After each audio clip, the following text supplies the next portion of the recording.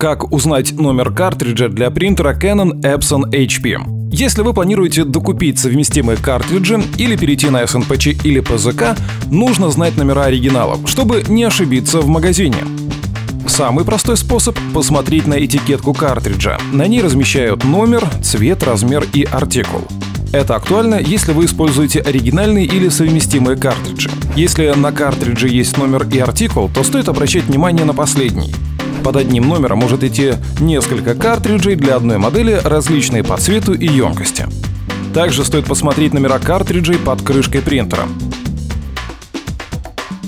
Еще можно посмотреть информацию в программе управления принтером. Когда заканчиваются чернила, Epson Status Monitor показывает номер картриджа, который нужно заменить. В устройствах от HP есть возможность распечатать отчет о состоянии принтера, в котором присутствует информация о поддерживаемых картриджах. На корпусе принтера есть название и номер модели устройства. Зайдя на официальный сайт производителя, нужно вбить в строку поиска вашу модель. На странице с характеристиками или во вкладке сопутствующих товаров будут указаны номера картриджей. Заходите на оригиналом.нет. Мы точно знаем, какой принтер подходит именно вам.